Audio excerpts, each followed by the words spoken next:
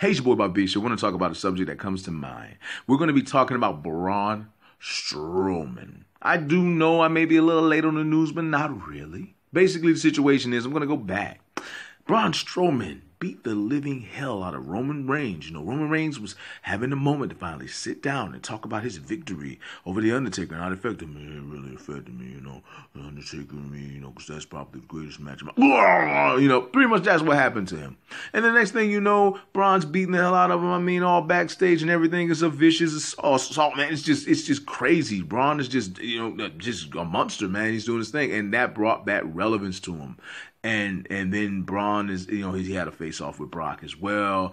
Um, and the dude beat the entire backstage up. He destroyed the ring with Big Show, and no one has done that with Big Show or anybody else since Brock Lesnar. And this was originally done on SmackDown. Dude, I love the push they're giving Braun right now. I just really, really hope they're not setting him up for him to be beaten and made weak to somebody like Roman or Brock.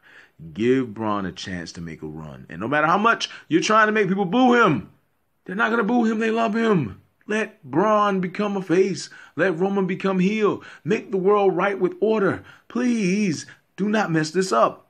You did it before. You build him up. He fought it out. He's toughed it up. The dude got better. Next thing you know, he's fighting Roman at Fastlane 2017. He beats the living hell out of Roman, man.